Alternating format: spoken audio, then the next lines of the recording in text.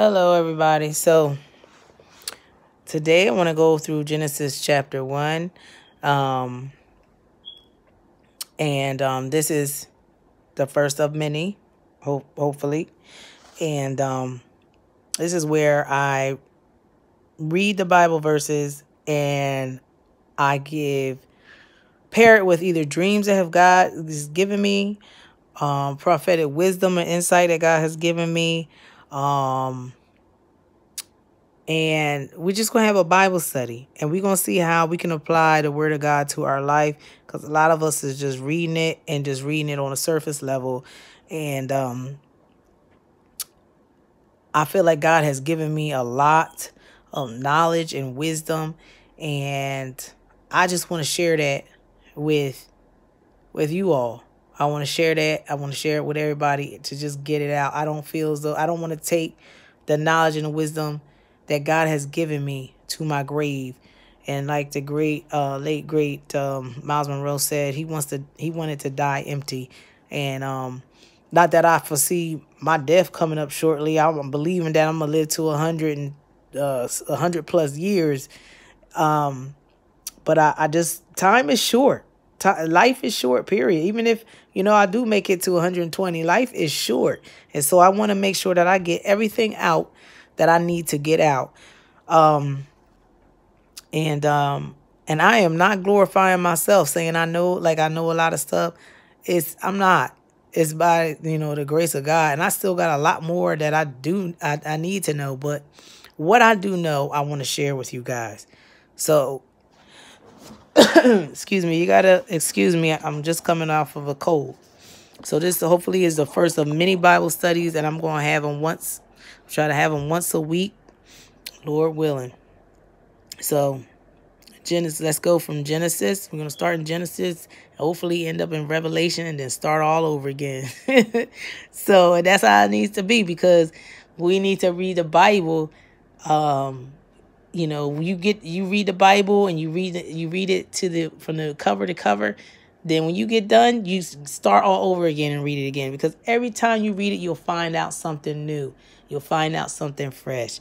So let's get started. Genesis chapter 1, verse 1. In the beginning, God created the heavens and the earth, and the earth was without form and void, and darkness was upon the face of the deep. And the Spirit of God moved upon the face of the waters. And God said, Let there be light, and there was light. And God saw the light, and it was good. And God divided the light from the darkness. And God called the, the light day, and the darkness he called night. And the evening and the morning were the first day. So let's stop right there. Now, I know that we have read this when we was like in Bible, like uh, Sunday school, and we just took it from the surface level. And that's fine.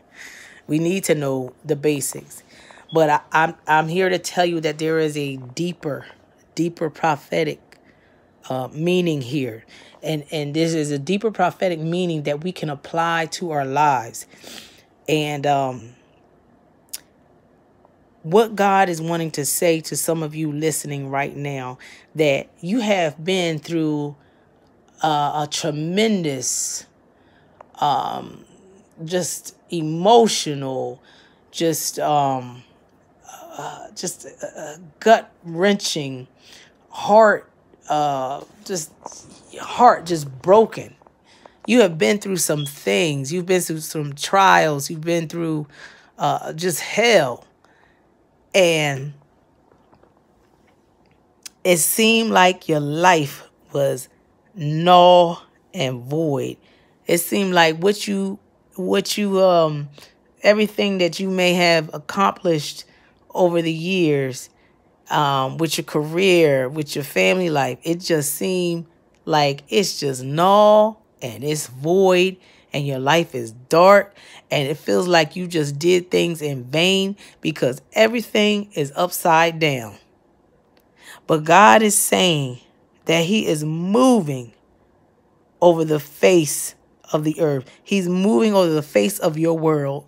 He's moving over you and he's going to call forth light. He's going to call forth light and he's going to separate, he's going to divide the light from the darkness. And you're going to be able to see again. Just like that song, I can see clearly now the rain is gone. I can see clearly now the uh, I can see all the obstacles in my way.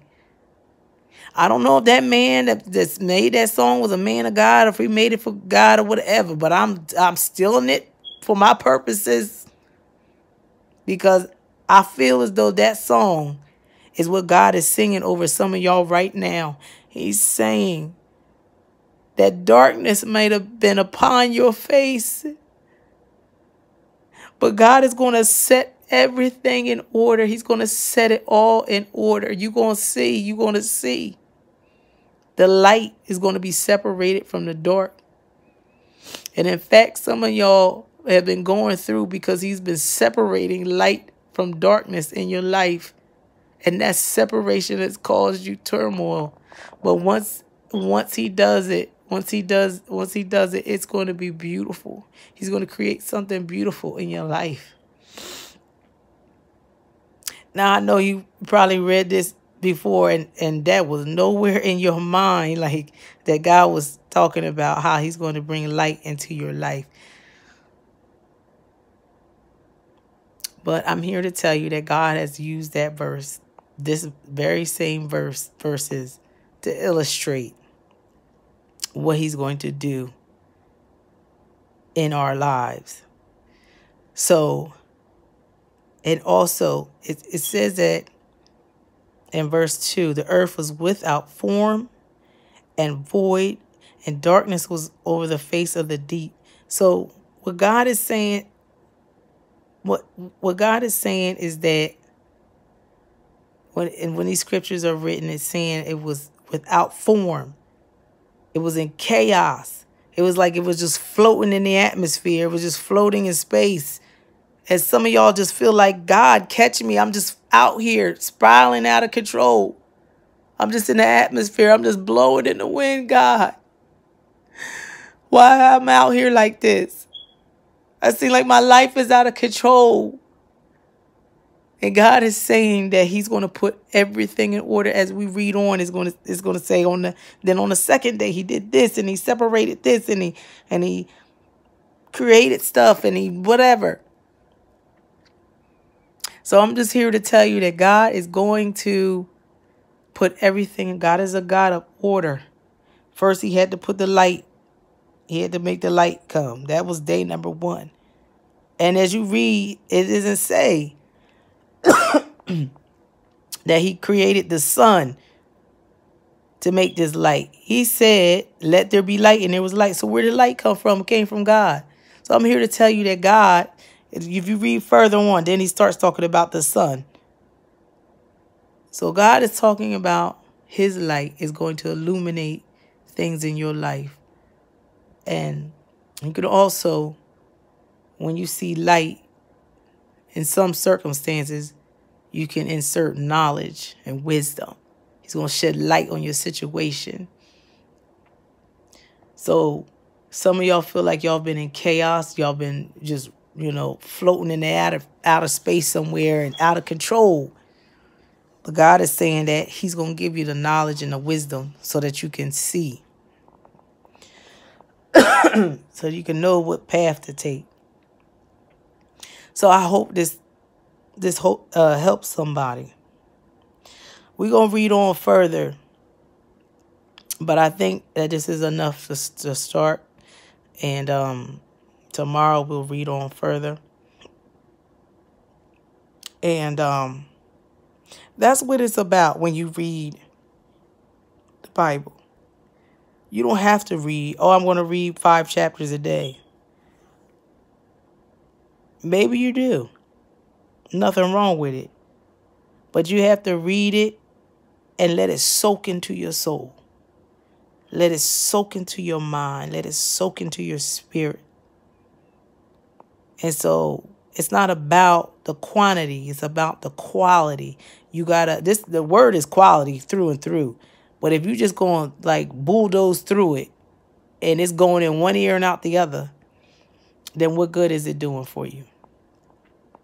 So um, God bless you. And I know it is a short Bible study, but sometimes I feel like it's so much packed into the Word of God that I just this need to be one Genesis one through well, I guess four we read to just needs to be one Bible study.